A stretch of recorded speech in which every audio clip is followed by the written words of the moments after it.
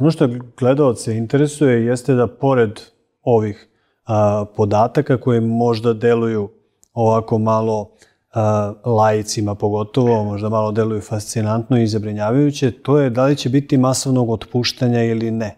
Ako je država u bankrotu, ako makroekonomski pokazatelji tako stoje, privreda je onda u kolapsu, možemo li reći, šta može radnik da očekuje? E, kao prvo, e, ne moramo odmah govoriti, možemo i o tome, ali bih ja docnije, o samom principu otpuštanja. E, mene više zastrašuje odumiranje privrednih subjekata. A, jer zajedno sa odumiranjem privrednih subjekata ljudi ostaju na ulici. Oni ne moraju dobi, dobiti standardni otkaz. Da, da, da. Njima ako a, malo, a, mikro ili srednje preduzeće odumre, koji su prvi na udaru mhm. svega ovoga što se dešava, ove takozvane korona krize ili već kakve uopšte svetske, svetske recesije koja, koja ide u sunovrat, kao da neko namerno šteluje uništenje malog i srednjeg sektora. Dakle, ne mora uslediti neko masovno otpuštanje. Recimo, u javnom sektoru ne mora odmah da usledi otpuštanje. Može da usledi umanjenje plata. Može da usledi neisplaćivanje plata. Mi se sećamo iz 90. godina. Da, ja sam da. recimo bio prosvetni radnik. Da o, po 4-5 meseci nisam dobio da, da. platu. I taj scenarij je moguć.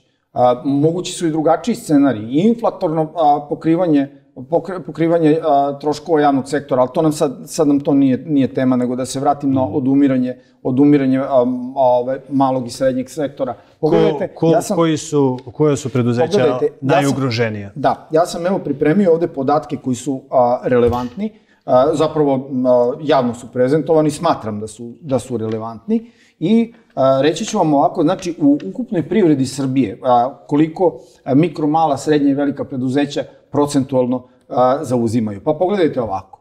A, od ukupno 100.500 preduzeća u celoj Srbiji, mikropreduzeća, njih je 87.000, to jest 86,6%.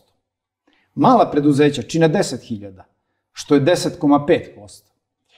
Srednja preduzeća, njih ima 2372, što čini 2,4%, I ovo što je najspektakularnije, naravno, velika preduzeća, njih je 521, samo 0,5%. Znači, u ukupnoj strukturi a, velika preduzeća čine 0,5%. Mm. A, posebno a, su u ovoj situaciji u jednoj sup, superiornoj poziciji velika trgovinska preduzeća, ove veliki trgovinski lanci, lanci naravno, naravno, koji zapošljavaju ogroman broj ljudi. E sad pogledajte a, druge podatke koji su jako bitni. Udeo zaposlenih da, u tim preduzećima. E, to je ono mhm. što, a, što je poenta a, ovoga o čemu govorimo. Mikropreduzeća č, a, imaju udeo zaposlenih 14,8%. Mala preduzeća 20% srednja 22,9%, a velika čak 42,2%. Znači, u strukturi ih ima 0,5%, a udeo njihovih zaposlenih je 42,2%. A, razumemo koliko su oni zapravo tržišno jaki. Međutim, kumulativno mala, mikro i srednja preduzeća čine 58% zaposlenih. I oni a ako se... oni nastradaju? E, a oni će biti prvi na udaru. Znači, oni će biti prvi na udaru u situaciji odumiranja malih a, ma, zapravo mikro, malih i srednjih preduzeća. Mm -hmm. Mikro preduzeće naravno će biti ovaj, najpogođenije. U pitanju je šta, kada postoji taj period ekonomske disrupcije, to, to jest zaustavljanja rada, preživljava onaj ko ima akumulaciju likvidnosti. Mala preduzeća, a, a posebno mikropreduzeća, gotovo u Srbiji da nemaju nikakvu akumulaciju, kao što i naš narod pojedinačno gotovo da nema nikakvu ušteđevinu ili mm -hmm. nešto, neka mi oprosti ljudi što ću izgovoriti, bedno malo. Mm -hmm. ovaj, u Srbiji se čak i ušteđevina od par hiljada evra smatra ušteđevinom, što u principu to nije. Mm -hmm. U principu nije.